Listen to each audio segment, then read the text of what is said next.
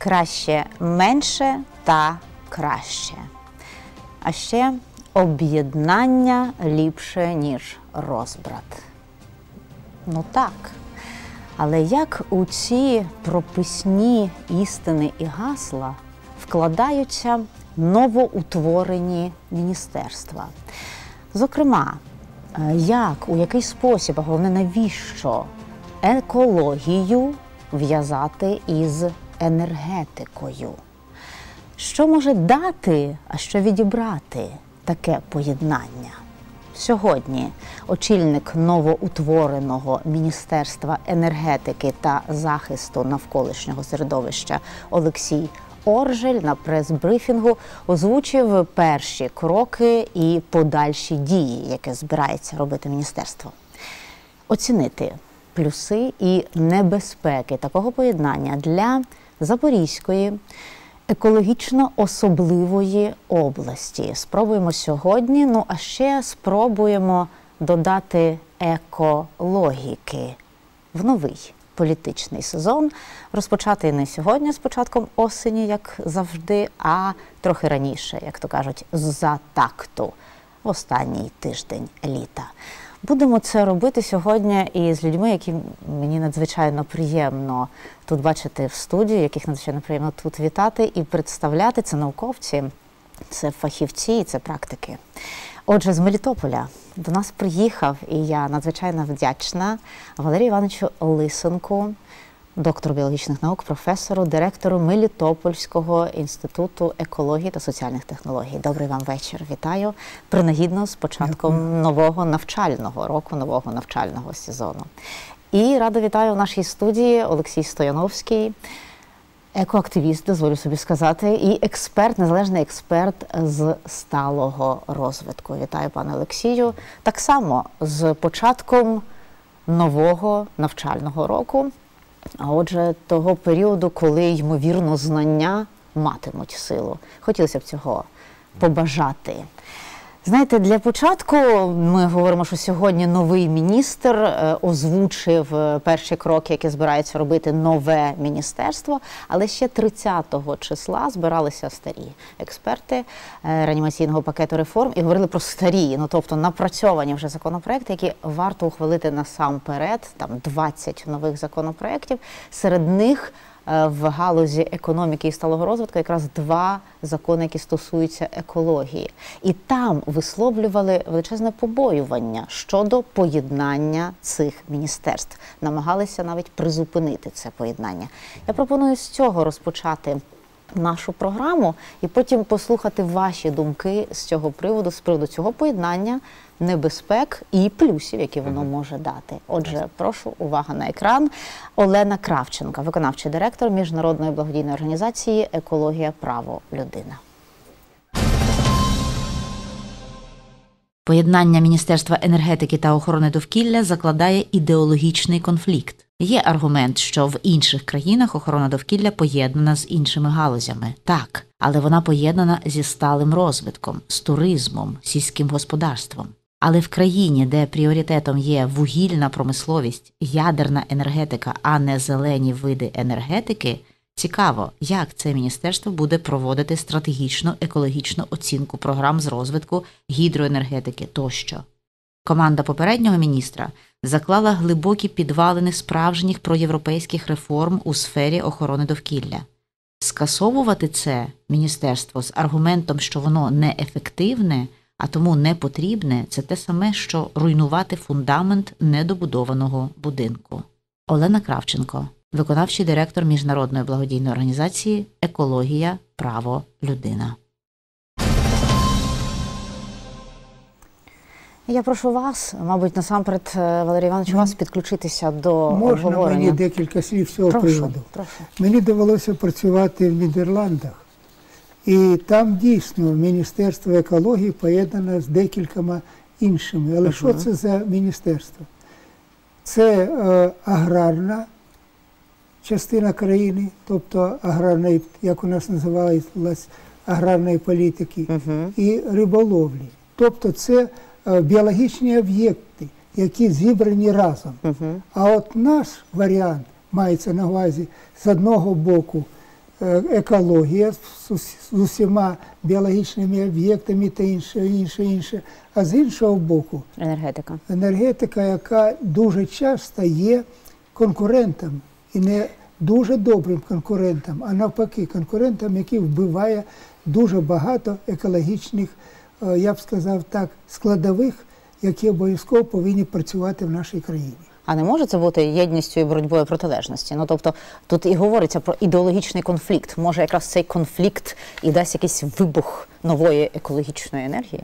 Ну, ви дивіться, ми зараз дуже багато уваги приділяємо о, зеленій електроенергії. Мається на увазі сонячне, веси. Здається, все, все здорово. Але ми, по-перше, якщо ми говоримо про е, сонячну електроенергію, то це великі, величезні площі, які ми повинні Віддати. просто віддати. Причому дуже часто це добрі ґрунти, на яких ми могли б щось вирощувати. Тепер, якщо ми кажемо про веси, є дуже багато. Веси це абревіатура? Вітрова електро- Вітрова електростанція. Угу. Так от, е, з одного боку, здається чудово. Стоять величезні вітряки, які дають дуже багато електроенергії. І це відновлювана енергія, це використання сили природи. все гаразд.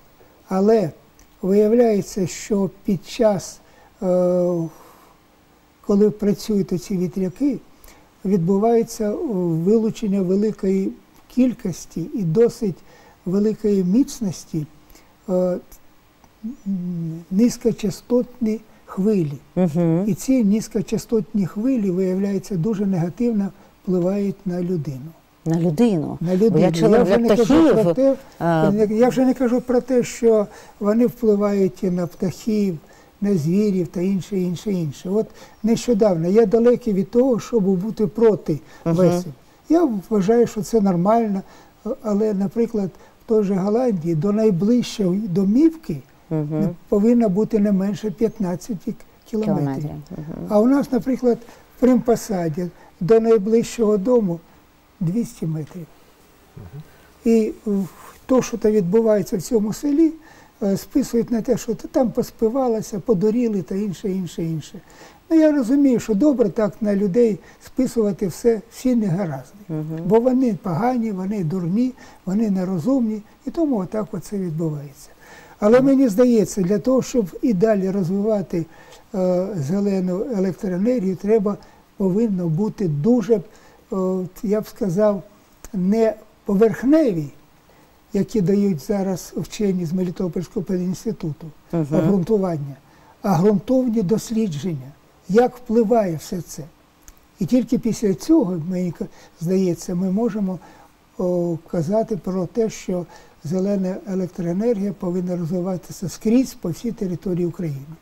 Пане Олексію, я да, я власне хотіла і до вас, як ви ставитесь до цього поєднання, чи є тут якийсь ресурс для сталого розвитку, і чи може тут оцей конфлікт якраз е, бути на користь потім, бо унормується, ну доведеться в рамках одного міністерства якось помирити ці конфліктуючі боки. Ну, бачите, е, я власне щодо експертом сталості, то перш за все експерт сталості в енергетиці, а, а, а ще більш точно то в біоенергетиці або Ага. загалом в зеленій енергетиці. Так. І а, Олексій Оржель, це мій колега взагалі, то а, в, ну, в роки я так само ну, тільки я співпрацював консультантом в ну, кількох міжурядових проєктах Нідерланди Україна з відновлюваної енергетики. Ну, більш точно біоенергетики, але, але воно завжди все одно закладається разом підґрунтя.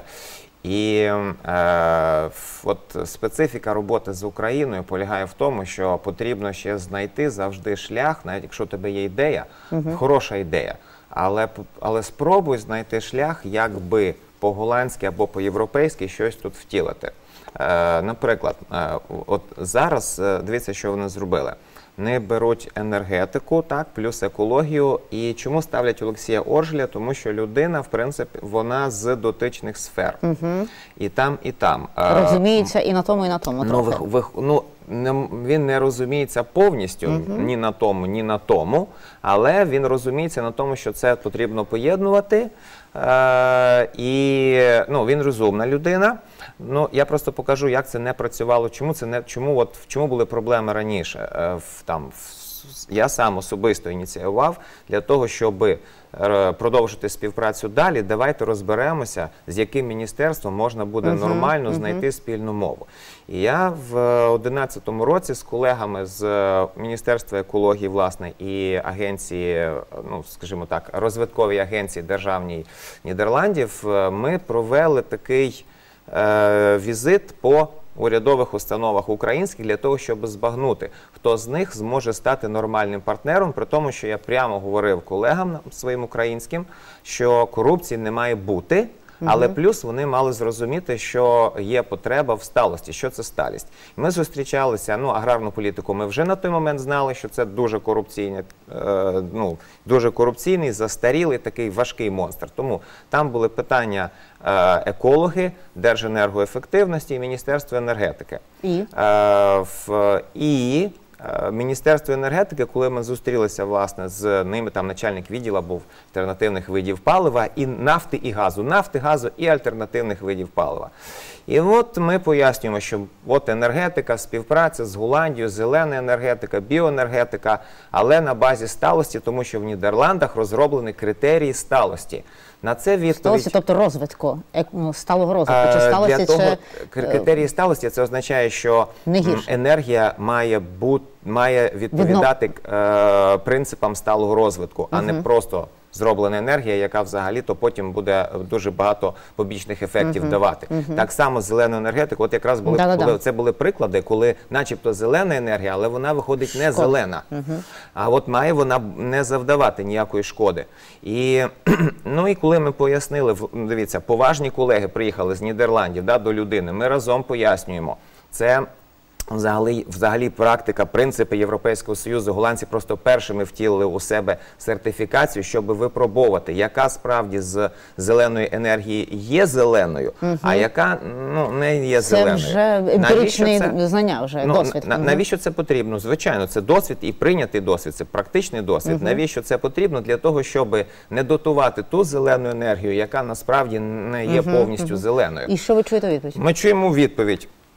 Вы знаете, что я вам хочу сказать, что э, энергия, она никакой другой цены, кроме топлива и э, ну, вот тепла, которое оно выдает, не несет. А то, что вы вот это приплетаете что-то еще, вот, ну, тобто це Ну, тут невігластво, е, дрімуче Менделєєв, який топіть можна і асігнаціями. Нефть, Ну, не топливо, топіть можна і асігнаціями. Ну і тому для того, щоб такого монстра приборкати, приборкати, от я, я так думаю, що це чисто рішення під людину. Як ви ставитесь до цього рішення і до того, що у нас досі рішення під людину? Замість того, щоб взяти вже напрацьовано, і от якраз експерти А я АПР скажу. називали, які законопроекти вже опрацьовані, готові, і їх обов'язково треба втілити, а не в- утворювати новий велосипед. Розумієте, от під людину. Людина має бути не корупційною. От Наскільки я знаю, я не можу гарантувати на 100%, але Оржель не корупційна людина. Це дуже важливо. У нас системних на високому рівні некорупційних людей там просто одиниці з досвідом. Ну, він не був ще в системі. Ні, чого Був. це? НКРЄ. Ага. Ну, він, він, він, він, він, се- серйозно. системи і якраз- Звичайно, він Мгм. системи. От. І, е, в- і Міністерство екології це ще один корупційний монстр, який займався аграрна політика. Міністерство енергетики, Міністерство екології це все корупційні монстри, величезні. Їх, по-перше, потрібно зменшувати однозначно. Я думаю, що можливо, а по-друге, якось їх все-таки контролювати і заставити зараз працювати на реформи. Я думаю, що далі ми перейдемо до того, що все-таки буде виділитися окремо екологічне міністерство. Що з- я думаю, що скоріше за все прибране буде європейська практика. Міністерство енергетики буде прибране кудись. Угу. А екологічна, бо зараз все одно енергетика на першому місці, а далі йде навіть не охорони довкілля, як пропонують експерти, а захисту навколишнього, ну добре, хоч не Дивіться, оточуючого в Голландії, в. Польщі немає міністерства енергетики. Тобто у вас зараз є, я так розумію, такий обережний оптимізм з цього приводу. Що тоді треба зараз тут і нам запоріжцям, зокрема. А я вдруге наполягаю на тому, що і це якраз я повторюю ваші слова, і ви про це говорили з кандидатами, коли вони ще були кандидатами, про те, що Запоріжжя це особливий екологічний регіон. І можна навіть визнати, що він особливий, і, і визнати це статусно. Треба визнати. Треба визнати, і навіть тоді погодитись, що це депресивний регіон. Тут знову такий конфлікт, сталий розвиток, депресивний регіон. Отже, в цьому плані, пане Валерію, ви вважаєте, що насамперед, які перші кроки треба робити, які уроки, якщо ми вже говоримо про День знань, треба Ну, засвоїти? Якщо казати про наш регіон, то він входить весь час в четвірку чи в п'ятірку найгірших регіонів України. В с- екологічному питанні. Так, він найбільш засмічений, найбільш е, розораний, е, найбільш деградований, навіть іноді соромно, що ти живеш в цьому регіоні. Тобто йдеться і про повітря, е, і про землю, Ну, дивіться, і про воду, вона, е, в цьому році в мене і захистилась моя чергова аспірантка. Вона займалася землями Запорізької області. Зробила непогану е, кандидатську дисертацію. І звичайно, що всі статистичні матеріали вона обробила. Так от у нас виявляється, що, що з території нашої області третина, підкреслюю, третина наших, е, нашої території це депресивні з точки зору якості ґрунтів території. Третина області, яку ми Так, вважаємо більше восьми- аграрною. Більше віс- Ну, не ми вважаємо, тисяч вважаємо. гектарів це землі, які потребують негайно втручання і спасіння. Ви розумієте, що якщо далі буде відбуватися те, що відбувається, то через 5-7 років ми з вами взагалі ці 800 тисяч гектарів просто Не зможемо використовувати, не можемо з них брати продукцію, яка там виростає. так. Так навіть і зараз там же ну, мізерно, продукція мізерно там вирощується. Їхня продуктивність мізерна зараз є. І ще дуже важливий момент, про який взагалі в нас в Запорізькій області я практично ніколи не чув. До речі, це от свіжі дані, ви їх озвучили. А є якесь порівняння, як було і як ну, тобто це погіршення ситуації, це Погіршення депресія. ситуації прогресує. Про звідки ця інформація? Це на 17-18 роки, то це найновіші відомості. 15-20 років тому ситуація була набагато кращою.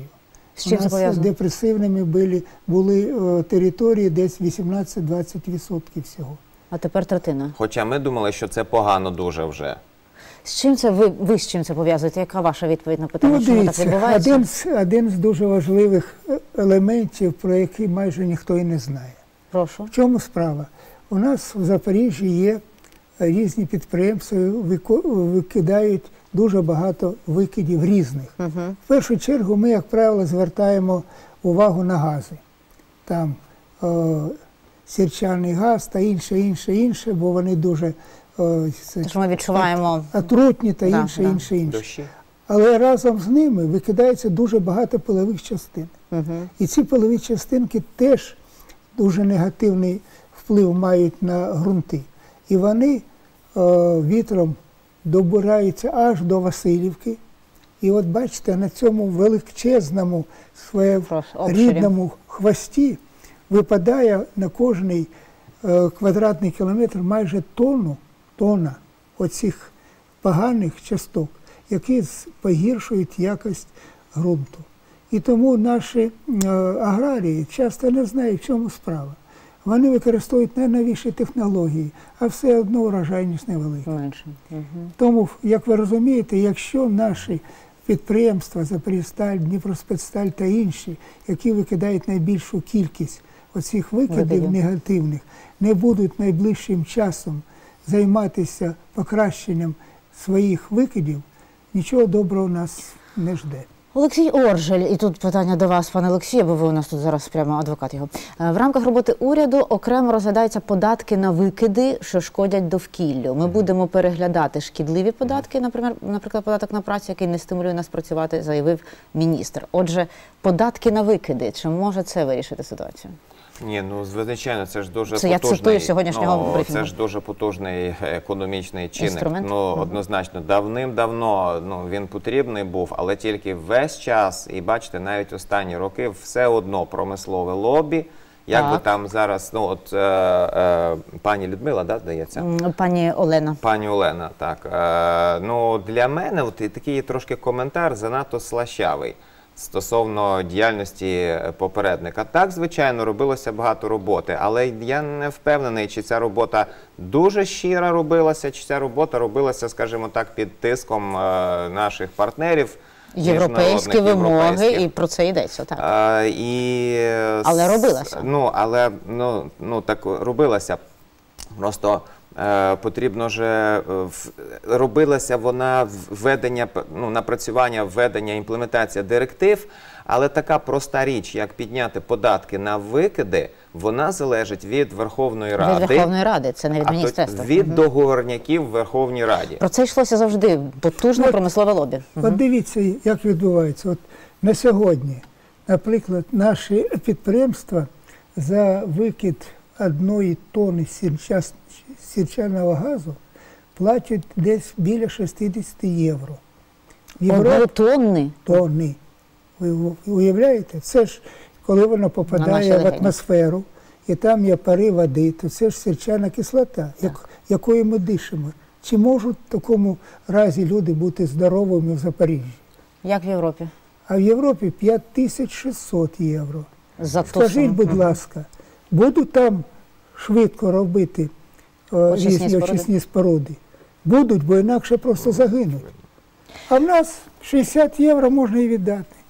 Просто я до чого це пояснюю, що звичайно попередній е, уряд, звичайно, міг, якби хотів, вже йти, ну, от робити свою справу. Ну, елементарно. Тобто ти робиш е, податки, сам від, від тебе залежить, ти, ти сам їх вимірюй. Ну, але ж е, очевидно, що вони залежали від. Е, так званої опозиції, і ну і тому вони не спішили втілювати ці речі. А ми чекали, чекали, коли ж нарешті там будуть прийняті ці директиви. В той час, як як економічні методи працюють куди швидше. Ви знаєте, їм було набагато про- краще займатися тими справами, якими їм е, підштовхував Берейко. Зак- Закрити полювання, заборонити, е, лося занести до червоної книги. От Тобто що- обмежувальні. і- буде краще. Я вам скажу. Одиночні, да? ви, ви про це не не системні. не чіпати промисловість, не чіпати Я економіку. був о, членом Національної комісії Червоної книги, коли в 94-му році Вона у 9-му складали списки тварин, е, які повинні були занести до Червоної книги. Е, Мої колеги з Інституту зоології всі за то було, щоб всіх осетрових заносимо до Червоної книги. Я був проти. Мене підтримало 5 чи 6 осіб всього ж. Як е, аргументувати це чим? Ми зараз маємо осетрових завдяки штучному розведенню. Якщо ми забороняємо взагалі, не даємо навіть невеличкої квоти тим, хто розводить, так хто ж буде розводити? Що ми зараз маємо? Де оці осетрові? Занесли в червону книгу, але їх немає. Далі, до 96-го року у нас в Україні кожного року іноземні мисливці добували 3-5 зубрів. Яка несенітниця, ах, ах, ах. Але це зубри були ті або дуже старі, або хворі, або ще якісь дефекти. А вони давали мисливському господарству 50 тисяч доларів, яких 30 тисяч залишалося в господарстві, а 20 йшло в єдиний фонд для розведення зубрів. Розумно? Я хочу зараз, у нас мало часу залишається. Я все-таки хочу, щоб ми переглянули ще один сюжет, бо сьогодні ще одна подія. І я не знаю, я думаю, що ви теж її вважаєте знаковою. Сьогодні закрився Запорізький аеропорт, почався ремонт е, злітно-посадкової смуги. І наскільки це в кінці, я хочу, щоб ви сказали, ви відчуваєте в цьому і про сталий розвиток, і про екологію, і про енергетику. Давайте подивимося, наші колеги новинарі були там, і потім ще завершуємо наше обговорення. Прошу. Тендер на ремонт злітно-посадкової смуги, рульожної доріжки та стоянки для літаків Запорізького аеропорту виграла турецька компанія Онур. Зараз для цього готуються будівельні матеріали. Завозиться щебень. За допомогою спеціальної техніки просіюється пісок. З 2 вересня почнеться демонтаж старої смуги. Проєктна товщина нової 32 сантиметри. Загальна площа більше 100 тисяч квадратних метрів. Це буде середня частина 28 метрів по ширині на всю длину 2,5 кілометри. Це буде смуга ремонт, десь близько 27 тисяч. Це рульожна дорожка і перон це теж десь близько 54. Але там вже буде тут буде бетонні роботи. У нас смуга буде зроблена із бетону. Вона і була з бетону і буде. А тут вже буде використовуватися асфальтобетон доброї такої якості, от, який, я думаю, прослужить дуже довго і ми уберемо, так сказати, ті проблемні моменти, які сьогодні є і при посадці самольотів, при їхньому взльоті, при потім під'їзду вже до самого терміналу. За словами директора аеропорту Віктора Біскупського, від зупинки на півтора місяці підприємство зазнає збитків приблизно на 5 мільйонів гривень.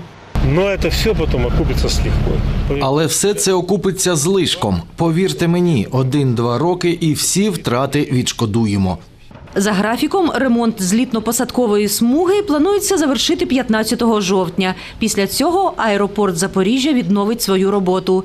Будівництво нового міжнародного терміналу триватиме до кінця року. Його проектна потужність до 1 мільйона пасажирів на рік. Крім того, розглядається питання впровадження бюджетних рейсів Україною до Києва, Одеси, Львова за нижчою ціною. Ведуться перемовини з авіакомпаніями і на нові міжнародні маршрути. Лишається півхвилини. Тоді так, аеропорт це символ, в тому числі злетів. Ваше відчуття сьогодні Це зможемо? чудово. Справа в тому, що ми, коли я працював в Запоріжжі, ми е, розробляли систему управління поведінкою птахів на території аеропорту.